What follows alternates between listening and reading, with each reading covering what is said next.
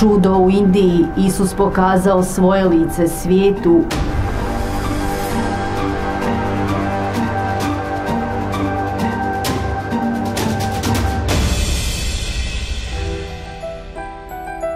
Čudo se dogodilo u crkvi Krista kralja u Vilankuru u državi Kerala u Indiji 15. studenog 2013. godine. Tadašnji župnik Don Thomas Patikal slavio je uobičajenu jutarnju misu u 7 sati.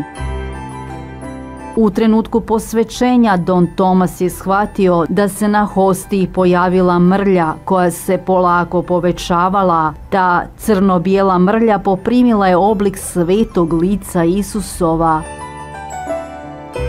Župnik je iznenađen, odlučio hostiju smjestiti u monstrancu da je sačuva.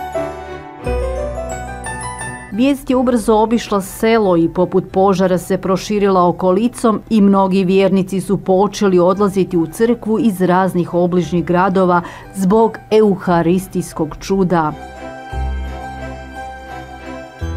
U naredna tri dana policijske snage su morale intervenirati jer je gužva koja se stvorila na ulazu u crkvu blokirala prolaz automobilima. Čudesan fenomen dogodio se nekoliko dana nakon podjele antikatoličkih brošura na tom području koje su ismijavale Euharistiju. Nadbiskupijski časopis navodi da je hostija bila podvrgnuta brojnim istraživanjima od strane teološke komisije, čiji su rezultati pokazali da se taj fenomen može smatrati euharistijskim čudom. Na posljedku odlučeno je da se čudotvorna hostija pošalje u Rim na daljne studije u sklopu procesa koji bi mogao omogućiti da se definitivno utvrdi hoće li se taj događaj službeno proglasiti euharistijskim čudom. Čekamo konačan odgovor crkve.